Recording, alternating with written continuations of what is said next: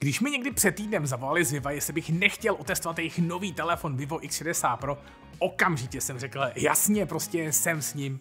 Vivo X60 Pro je totiž po dlouhé době zase nějakým unikátnějším telefonem, který rozhodně vystoupí z řady. No a čerto vím, že se k nám dostal zatím jenom X60 Pro a nejí kožená varianta Pro Plus. Na tenhle telefon jsem se prostě proklatě těšil a věřím, že rozhodně osloví i spoustu z vás.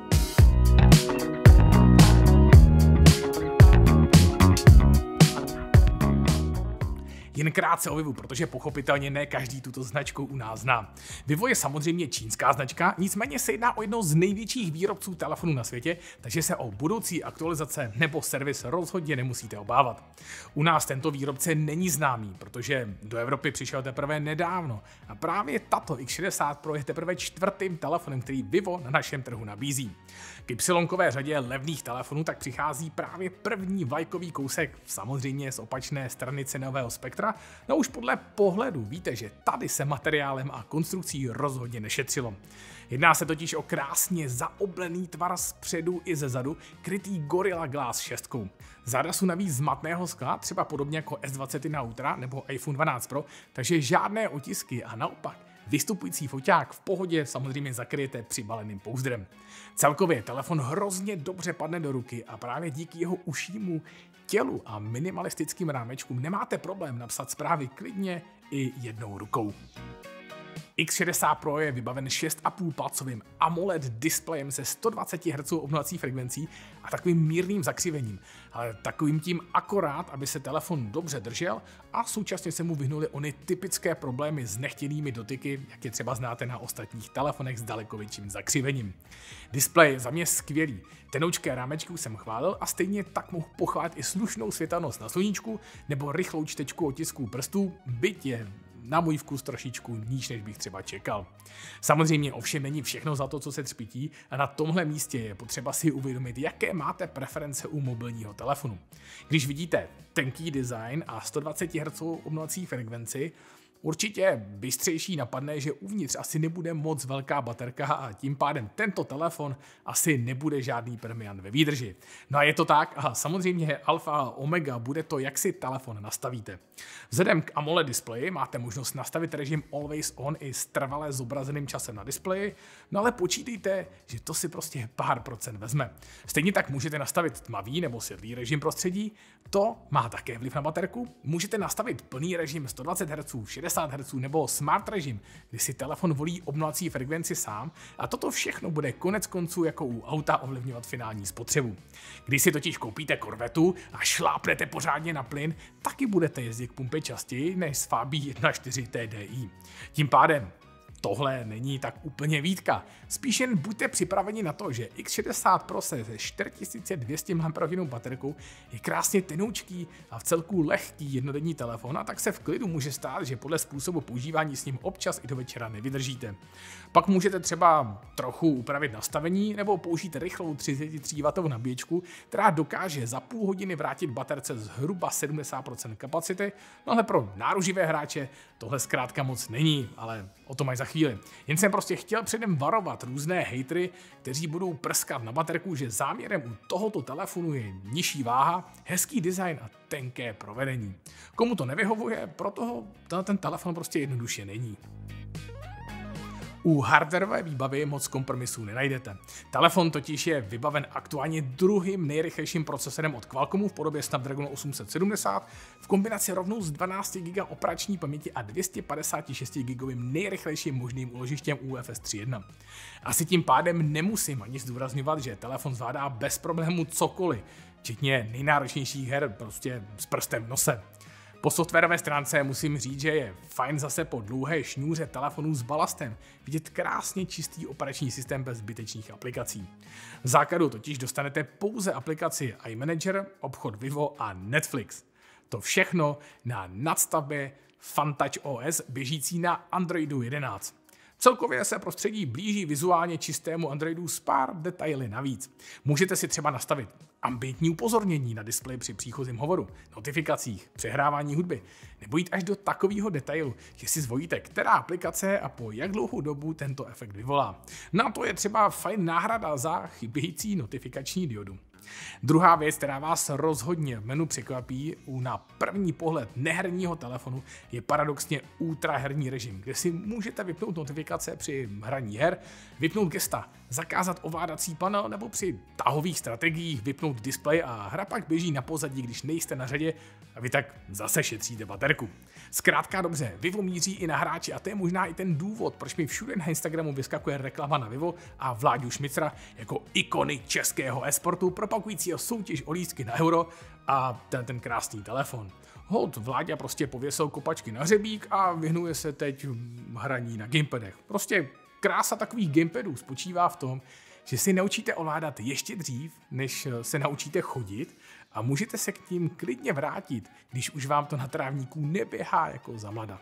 Jenom škoda jedné věci, že pro hráče je tady jenom jeden reproduktor, takže žádný stereo a kvalita zvuku hlasitá, ale nic moc. Upřímně, kromě krásného designu jsem se asi nejvíc těšil na foťáky. Vivo X60 Pro je totiž první telefon u nás oficiálně dostupný, který podporuje gimbalovou stabilizaci hlavního foťáku. Pro ty z vás, kdo neví, o co jde, jde o druh stabilizace, kdy se nehýbe senzor pod čočkou ani čočka takhle v ose XY, ale naklápí se samotná čočka foťáku. Výsledkem by pak mělo být daleko plynulejší video a daleko ostřejší a prosvětlenější fotky za nedostatku osvětlení, protože telefon dokáže fotku exponovat daleko delší dobu než u klasických telefonů. Všechno tohle je pochopitelně pouze na hlavním 48 megapixelovém senzoru s úžasnou světelností f1.5. Telefon díky tomu produkuje opravdu hezké snímky s ideálním kontrastem, velmi slušným dynamickým rozsahem, ale bohužel trochu nereálnými a přesaturovanými barvami. Nejvíc si to všimnete asi u zelené, kterou výrobce potudil hodně do plusu, až to docela bije do očí. U ostatních barev už je to prostě lepší, ale ta zelená. Samozřejmě dle gusta každého. Když tento postprocessing vidím, nemůžu se ubránit faktu, že přesně podobným způsobem fotili telefony Huawei, Xiaomi nebo Samsung pár let zpátky, nás chytávali za to v Evropě v recenzích jednu kritiku za druhou. V Číně je naopak tento druh postprocessingu hodně oblíbený, stejně jako třeba vyhlazování pleti u portrétního režimu. Ten je právě v tomto vivu také z výroby zapnutý někam na úroveň 5, zatímco právě u konkurenčních značek už je pro Evropu ve výchozím režimu většinou vypnutý. Je to takový ten krásný střed kultur, já rozhodně se za to na Vivo nezlobím. Jde prostě o výrobce, který si musí zažít, že v Evropě se díváme na věci trošičku jinak a podle toho software pro nás trošičku poladit odlišně, než to dělá pro domovský trh. Z ostatních ohledů asi není moc co hlavnímu foťáku vytknout. K dispozici pak máte ještě dvojnásobný teleobjektiv, který rozhodně můžu pochválit za konzistentní fotky s hlavním. Má to všem jeden technický háček. Dost často totiž nepoznáte, jestli telefon používá pro focení právě onen zoom nebo výřez hlavního objektivu. Tak či tak vypadají fotky velmi dobře a s minimálním množstvím šumu. Třetím foťákem je 13 megapixelový širokouhlý objektiv, opět produkující celkem hezké a konzistentní fotky, no a díky autofokusu je můžete použít i na makro.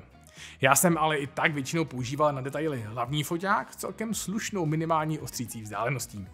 Večer musím Vivo pochválit za přítomnost automatického nočního režimu, kdy v drtivé většině případů telefon vyhodnotí, kdy je potřeba tento režim zapnout. Výsledkem jsou pak ve většině případů požitané fotky, i když na telefony v podobné cenové kategorii X60 Pro přece jen trošičku ztrácí. Primárně se samozřejmě večer orientujte na hlavní foťák, ale mile dokáže někdy překvapit i ten širokouhlý objektiv. Spíš ale vyhledávejte stejnoměrně nasvětlené scény, pak dostanete na hlavní i širokouhlý foťák opravdu hezké fotky. Jo, a dokonce se mi podařila na hlavním foťáku i tahle ostrá fotka. Jasně, barvy nic moc, ale ta tráva s keřem vpředu byly v totální tmě, proto tuhle fotku vyzdvihu. A to je ten případ, kdy se projeví právě gimbalová stabilizace ve večerních snímcích. U videa máte možnost natáčet až ve 4K60 na hlavním foťáku a zbylé dva se přidejí až při Full HD při 30 snímcích. Výsledek videa pak víceméně kopíruje jednotlivé foťáky. U gimbalové stabilizace si ovšem musíte hodně zvyknout na její odlišnost oproti klasickým telefonům. Tím, jak se čočka hýbe právě v X a Y ose tímhletím způsobem, má občas tendenci třeba při takzvaném panningu, což znamená tenhle ten shot, se soustředit na jeden bod a kompenzovat váš pohyb, který je naopak žádoucí. Škoda, že tady nejde třeba podobně jako u LG nastavit speciální mod, který by dokázal vypnout jednu osu a vy jste pak udělali dokonalý záběr. Samozřejmě jde to obejít tím, že uděláte záběr o to delší a vystříhnete potom začátek, ale takový ten jeden nápad na zlepšení. Teď přichází na řadu samozřejmě cena. Ta je nastavena celkem ambiciozně na 19990, ovšem na start prodeje si pro vás Vivo připravil speciální Early Bird akci, kdy telefon máte šanci koupit za 16990. A to si myslím, že by byla taková ta ideální cena, za kterou by se mělo Vivo prodávat i dál. Za 20 tisíc totiž již dneska sežnete 11, S21, OnePlus 9, to znamená telefony s letošními nejlepšími procesory a daleko etablovanější značku na našem trhu.